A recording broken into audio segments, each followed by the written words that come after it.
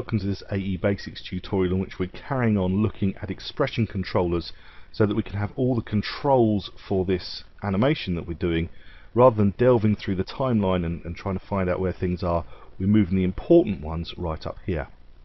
The next one just before we do colour I actually want to do scale for my man and that is actually if we think about it it's going to be under the group and it's going to be under the transforms for the group which are going to scale the actual size of the man himself okay so I'm just going to right click that one and reset it and I want to have a controller for this. And I'm going to do that one with a point control and you'll see why in a minute. If I go to effects expression controls and I actually go to a point control you'll see that a point control has got two values. And you'll see down here that my scale also has two values. They're locked together but I can unlock them if I want to so that I can make things wider or smaller. If I unlock them and move things for instance I can make my man fatter or taller or thinner whatever I want to do. I don't even need to unlock them here actually. Let's just reset those to the 100 default. What I'm going to do is I'm going to alt click again on scale and I'm going to do open square bracket because I want to separate x from y. So I want the first value of this point controller to do X and the second one to do Y. So what I can do is simply take the pick whip and drag it up to X, let go, comma. So I'm saying that the first property, because I had my open square bracket if you remember that's saying I'm doing an array, which splits X and Y out. So the first property is going to be controlled by this one, which at the moment is 960, which is pretty intense. It's going to look very tall when we've done it. So comma, so now we're going to look at the second property which is 100. It's going to go mad when I finish this by the way because these are very high values but we can reset those in a second.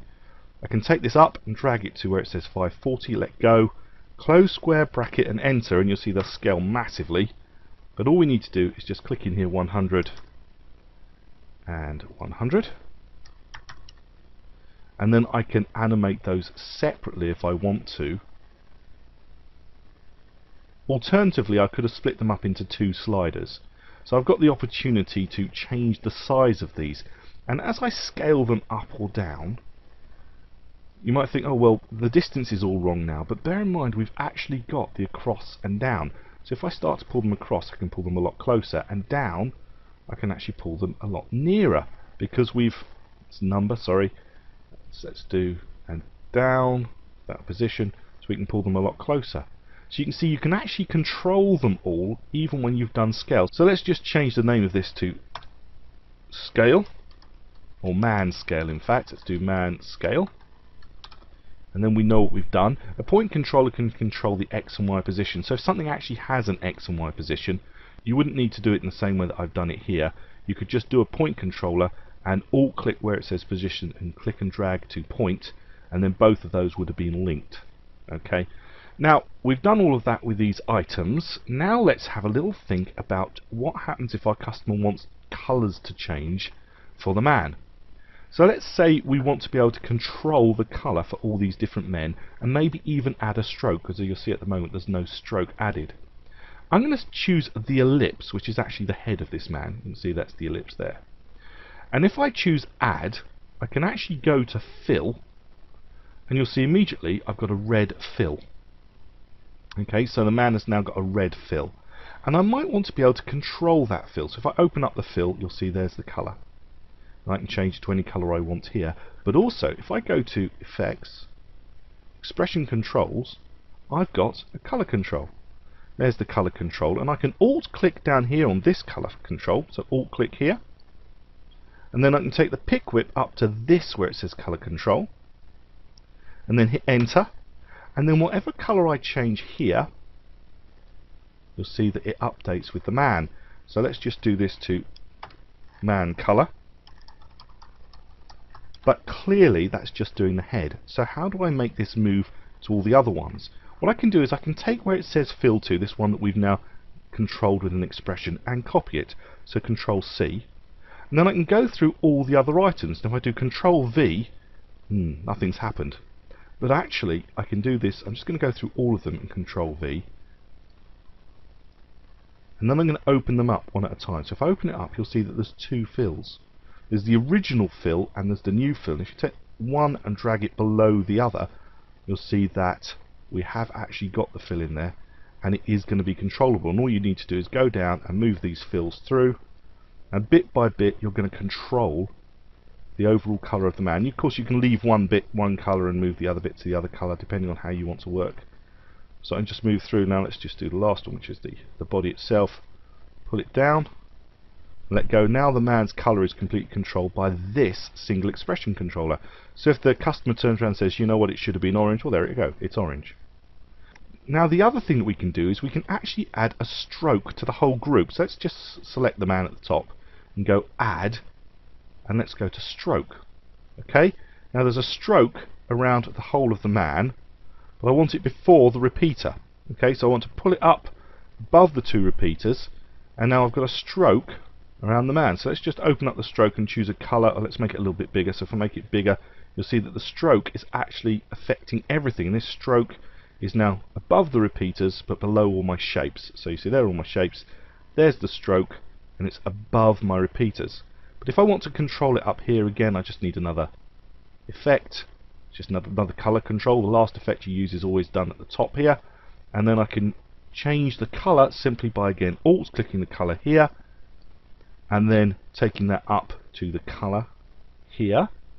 And then when I change the color here you'll see that it's going to affect everything. So let's go for a nice blue stroke. Okay so it's now a stroke that's affecting everything. And I'm going to hit that and call it stroke color but I also want to control the size of the stroke. You see down here we've got stroke width. So to do that I'm going to have another slider. So I can go to effect expression controls out to the slider and I can hit that and call it stroke width. And then go down to where it says stroke width down here. Select it. Take the pick whip up to the slider. Hit enter.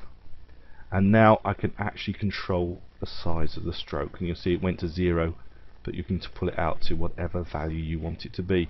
So now all of my controls for this particular layer are controlled right from the layer itself with all the different expression controllers I've added and that doesn't stop me adding more. So for instance if I want to go down to say the transforms for the layer. So if I look at the transforms for the layer the first thing I'm going to do is I'm going to say let's move the anchor points. The anchor points in the middle here. Let's move it to the top left which we do with the standard pan behind tool. Grab hold of the item take it up to the top left like that. So that's now controlled and once I've done that, if I scale, you'll see that it's going to scale in and out from that point, which is incredibly useful.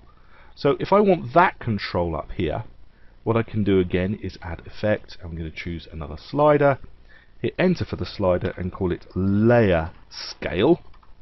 And then alt click scale here and drag it up to this slider here.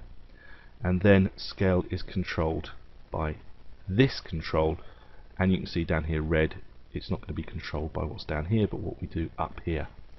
Okay so all of that is controlled now by my different expression controls. And of course the important thing is every single one of these is animatable. They've all got stopwatches. In fact the only expression control that doesn't have a stopwatch is the one that says layer control. Thing, so you can actually add that in but you can't animate it. But you can animate checkboxes turning things on and off.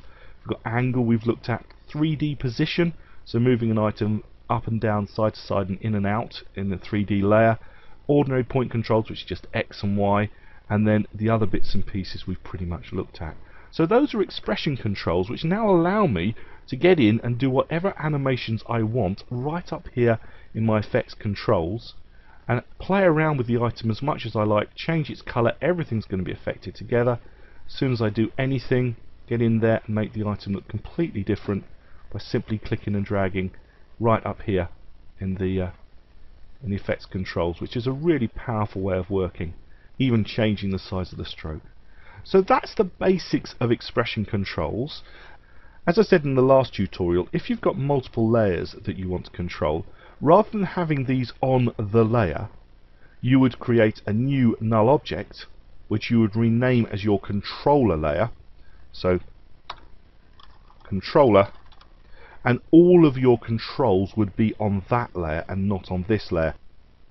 Well I hope you found this tutorial useful, that you'll start to use these expression controllers in your own projects. Remember that if you do have a controller layer you can control anything on any layer as long as you link it to an expression control that you've put on the controller layer. You can just add them in the normal way. Effects, expression controllers, and any of the ones that we've got here. The only one, as I say, that doesn't have animation is the layer control. So all of these can be used to create some brilliant effects which you can then put on the controller layer, turn the eyeball off, you don't even need to see it, and then as many layers as you've got can all be controlled from a single layer and when your customer says I like it but you've already got everything linked up and then you can make the changes super fast because everything's linked up with expression controls and your customer will be very impressed. I hope you found these tutorials useful. My name's Andrew Devis and thank you for watching.